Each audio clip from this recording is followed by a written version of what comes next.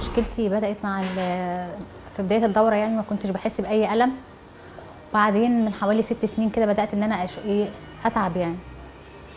فمن سنة رحت لدكتورة أمراض نسا واكتشفت إن هي إن أنا عندي أورام ليفية.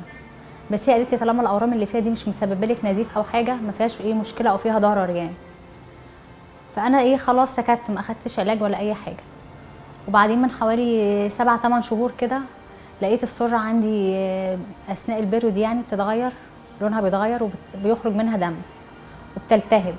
فرحت كشفت عند دكتور باطنه قال لي ده التهاب في السر. بس فرحت برضو كشفت عند دكتور آه، أمراض نسا فهو شك إن هي إيه آه، بطانه مهاجرة. واداني علاج لمدة شهر مشيت عليه. فأول ما عرفت إن هي بطانه مهاجرة قلت لأ يبقى أنا أروح لواحد متخصص أحسن يعني. فكنت سمعت عن دكتور سيد في التلفزيون في, البر... في البرنامج يعني بتاعه.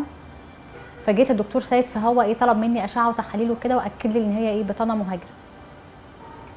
لأن أنا كنت بتعب جدا أثناء ال period بيبقى فيه ألم في ظهري وترجيع وألم في رجليا وألم في الحوض.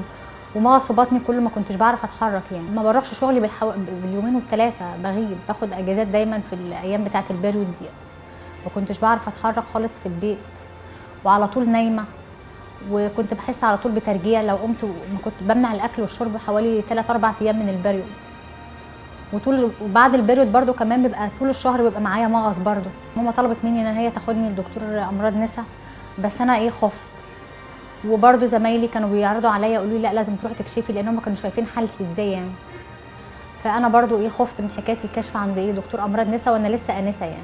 إيه لما جيت بقى الدكتور سيد فهو أكد لي إن هي بطانه مهاجرة وطلب مني تحاليل وأشعة وكده والحمد لله أنا عملت الإيه؟ العملية بتاعة البطانة المهاجرة ديت والحمد لله أنا حاسة إن أنا أحسن دلوقتي. فأنا بنصح أي واحدة يعني تحس بأي ألم أثناء البريود إن هي إيه؟